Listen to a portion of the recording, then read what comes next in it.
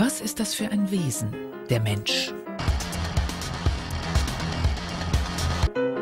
Ist er einfühlsam, fantasievoll, solidarisch, empathisch? Oder kriegerisch, asozial, egoistisch und destruktiv? Unser Bild der menschlichen Natur entspricht nicht der Realität. Und weil das der Fall ist, beeinflussen diese falschen Vorstellungen die Art, wie wir Kinder erziehen, Geschäfte machen und Staaten regieren. Und was geschieht? Wir werden so, wie wir es uns einbilden. Aber das hat nichts mit unserem eigentlichen Wesen zu tun. Jeremy Rifkin ist ein wandelnder Think Tank.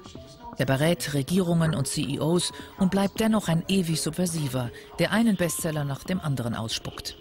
Ein Gedankenblitz in Menschengestalt. Die drastische Veränderung der Arbeitswelt prophezeite er genauso wie die Abschaffung von Eigentum im digitalen Zeitalter. Und der Arroganz des Powerplayers USA setzte er den europäischen Traum einer leisen Supermacht entgegen. Und nun sein neuestes Buch. Ein wildes Plädoyer für eine empathische Zivilisation. Als spüre Jeremy Rifkin regelrecht, wie sehr es unserem Planeten an den Kragen geht. Die einzige Rettung vor dem Untergang? Ein komplett anderes Menschenbild. Ich möchte allen Eltern eine Frage stellen. Wie ist ein Baby, wenn es auf die Welt kommt? Ist dieses kleine Kind ein verdorbenes, böses Wesen, rational, berechnet? Eine Seele, die materialistisch nur das eigene Interesse verfolgt und nichts anderes will, als sich selbst zu reproduzieren und seinen unstillbaren sexuellen Appetit zu befriedigen? Ist es das, was Babys wirklich sind? Wenn ja, wenn das die menschliche Natur ist, dann sind wir wahrscheinlich verloren. Diesem Entwurf einer zerstörerischen menschlichen Natur setzt Rifkin das Modell einer Zivilisation entgegen, die auf Empathie gründet. Und meint damit weit mehr als nur ein bisschen nett sein, Müll trennen und Höflichkeiten austauschen. Rifkin fordert das Ende des herkömmlichen Denkens und will die Wahrnehmung schärfen für das, was Empathie wirklich bedeutet. Empathie leitet sich nicht aus Perfektion ab, sondern aus dem Unperfekten. Nicht aus Unsterblichkeit, sondern aus Sterblichkeit. Es ist das tiefe Gefühl von Solidarität mit dem Leben, mit dem Kampf eines jeden, um aufzublühen. Man zeigt Mitgefühl, weil man versteht, das Leben ist wertvoll und wir sind nicht allein. Es ist eine erstaunlich emotionale und intellektuelle Erfahrung. Und sie verändert sich, reift mit der Geschichte. Und so schreibt Rifkin erst einmal die Geschichte um. Er schildert sie nicht als unendliche Abfolge von Kriegen, Machtdemonstrationen und Katastrophen, sondern als Entwicklungsgeschichte des empathischen Bewusstseins. Denn hinter der Maske der dominierenden Ereignisse verbarg sich immer auch eine andere Geschichte, weniger laut und aufdringlich als das Getöse der Schlachten und der Krisen. Warum konzentrieren sich Historiker auf die krankhaften Momente? Weil sie Aktualität vorgeben. Und warum sind sie aktuell? Weil sie nicht alltäglich sind, Aufmerksamkeit erregen, Schrecken einjagen. Und dann sehen wir nur Tod, Zerstörung, Chaos, Genozid. Aber das sind die außergewöhnlichen Momente. Und wir glauben, unsere Geschichte bestehe nur daraus. Wir sehen dann nur das Schlechte. In unserer Gegenwart sieht Jeremy Rifkin dennoch eine große Chance. Denn noch nie war Kommunikation so einfach.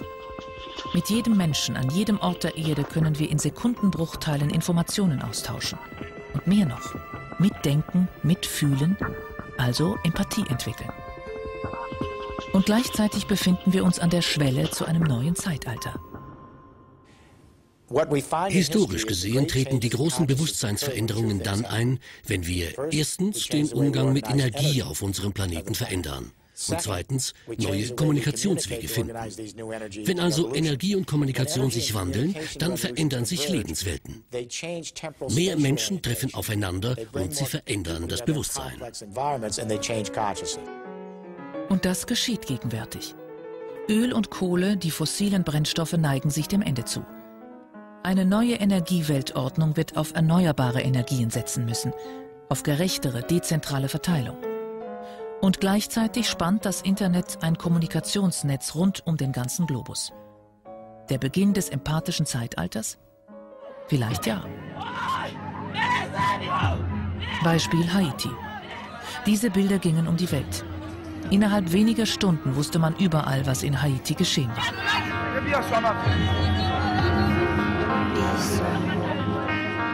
Und weltweit versuchte man zu helfen, zeigte Solidarität und Empathie. Das Gegenbeispiel. Die UN-Klimakonferenz in Kopenhagen. Allen waren die drastischen Folgen der Klimakatastrophe bewusst. Medial ist das Thema präsent wie kein anderes.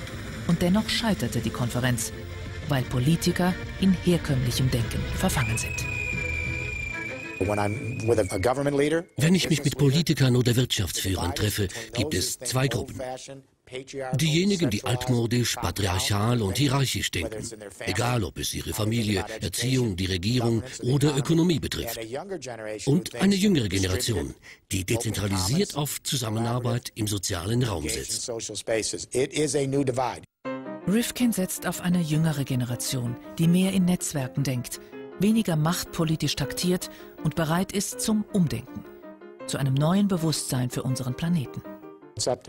Es liegt an uns. Wir müssen den Ernst der Lage für unsere Spezies erkennen und eine empathische Zivilisation vorbereiten. Wenn wir das nicht tun, gibt es keine Garantie zu überleben. Jeremy Rifkins Empathische Zivilisation.